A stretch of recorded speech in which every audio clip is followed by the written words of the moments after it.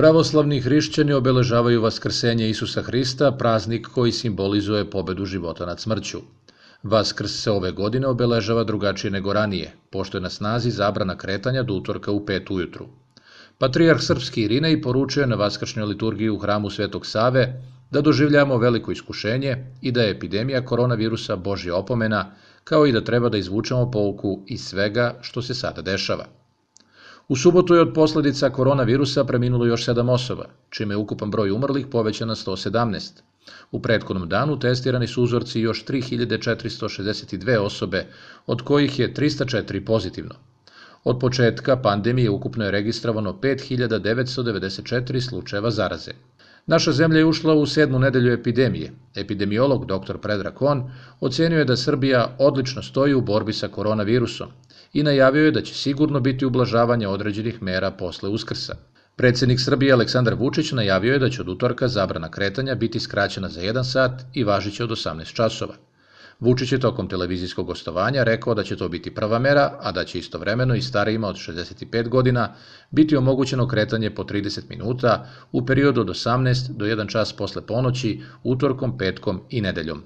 Od utorka će, kako je najavio, početi da rade građevinski radnici, zanatlije i brojne prodavnice, osim u tržnim centrima. Nakon 27. aprila očekuje se da prorade i saloni lepote, frizeri i teretane, ali uz svu potrebnu zaštitu.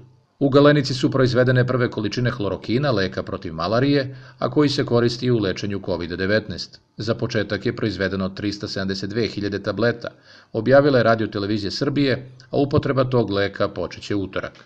Oko 100 osoba negativnih na COVID-19 otpuštene u subotu uveče iz kliničkog centra u Nišu i privremenih bolnica u tom gradu. Izlečeni pacijenti su prilikom izlaska dezinfikovani, a sa terasa okolnih zgrada građani su ih pozdravljali aplauzom.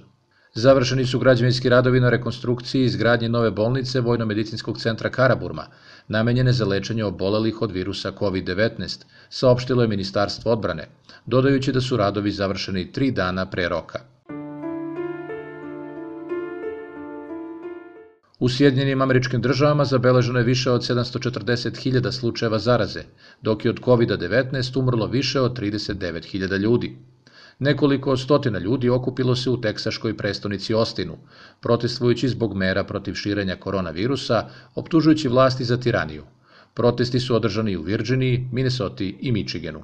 U američkoj saveznoj državi New York uvedena je obaveza nošenja maske ili materijala za pokrivanje lica tokom boravka na otvorenom, kako bi se suzbilo širenje koronavirusa. Guverner New Yorka Andrew Cuomo izjavio da se situacija popravlja, ali da nema razloga za slavlje. Cuomo je naveo da je 540 ljudi umrlo u poslednje 24 sata u državi New York usled infekcije virusom. Ovo je do sada najniži broj umrlih na dnevnom nivou u više od dve sedmice. U Italiji je tokom jučerašnjeg dana zabeležen najmanji broj smrtnih slučajeva od 12. aprila, 482, ali ukupni broj preminulih premašio 23.000, saopštila je italijanska služba civilne zaštite.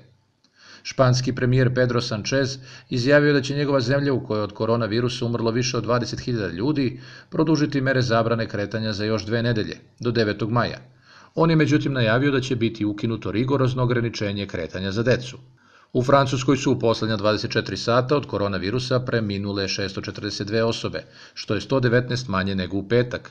Registrovano je 3824 novoobolelih, što je značajno više nego prethodnog dana, kada je bilo 1909 zaraženih. U Belgiji je registrovan nešto manji broj novoobolelih i umrlih nego prethodnog dana, ali nedovoljno da bi moglo da se zaključi da epidemija popušta i ta država i dalje ima procentualno najviše preminulih na svetu. U protekla 24 sata umrlo je 290 ljudi, 16 manje nego u petak, a sa 471 preminulim na milion stanovnika, Belgija je ubedljivo vodeća u svetu. Zaključno sa jučerašnjim danom u zemljama okruženja najviše slučajeva zaraze zabeleženo u Rumuniji, 8418, dok je najmanje slučajeva u Crnoj Gori, gde je registrovano 307 pacijenata. I dok traju rasprave među zvaničnicima, ali i u naučnim krugovima da li je virus prešao sa životinja na čoveka ili je nastao u laboratoriji, američki predsednik Donald Trump još jednom je upozorio Kinu da će se suočiti sa posledicama ako je svesno odgovorna za pandemiju koronavirusa. Pandemija je mogla da bude zaustavljena pre nego što je počela, a nije i zbog toga ceo svet pati, ocenio je Trump na konferenciji za novinare u Beloj kući. U poslednjoj u nizu kritika na račun Kine, američki predsjednik je rekao da je druga stvar ako je u pitanju bila greška. U Kini je u poslednja 24 sata zabeleženo 16 novih slučajeva COVID-19, što je najmanji broj novozaraženih od 17. marta i za 10 manje nego što ih je bilo prethodnog dana, saopštila je Nacionalna zdravstvena komisija. Od ukupnog broja novih slučajeva, 9 su uveženi, što je najmanji broj novozaraženih koji su došli iz inostranstva od 13. marta. Ukupan broj slučajeva koronavirusa od početka epidemije iznosi 82.735, a novih smrtnih slučajeva nije bilo, pa je ukupan broj preminulih ostao 4632. U protekla 24 sata u Južnoj Koreji je potvrđeno 8 novih slučajeva koronavirusa, što je prvi put posle oko dva meseca da je broj novozaraženih jednocifren, saopštuje Centar za kontrolu i prevenciju zaraznih bolesti. Ukupan broj slučajeva koronavirusa time je porastao na 10.661, a od 8 novoobolelih, pet je došlo iz inostranstva. U Severnoj Koreji su od kraja marta zabeleženi slučajevi zaraze koronavirusom, rekli su stranim posmatračima predavači iz te zemlje. Vlasti Severne Koreje su ranije uvele karantin od 30 dana za sve državljane zemalja u kojima su zabeleženi slučajevi koronavirusa.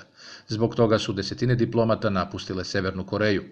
U subotu je državni medij KCNA saopštio da vlasti Severne Koreje proveravaju da li i dalje postoji neki način da virus uđe u zemlju, nakon što su blokirane sve granice, vazdušni prostor i vode Severne Koreje. Jedno od prvih seroloških istraživanja u Sjedinjenim državama koje utvrđuje prisutnost antitela na novi koronavirus procenilo je da je broj zaraženih u Silikonskoj dolini u Kaliforniji sigurno više od 50 puta veći od službenih podataka. Naučnici sa Stanforda testirali su tokom prvog vikenda, aprila meseca, 3300 dobrovoljaca u Santa Clari, koji su se javili putem Facebooka i smatraju da između 2,5% i 4,5% lokalnog stanovništva bilo zaraženo novim koronavirusom, što je između 50 i 85 puta više od tadašnjih službenih podataka za tu regiju. Oni procenjuju da je stvarna stopa mortaliteta od COVID-19 manja od 0,2%, navodi se u istraživanju.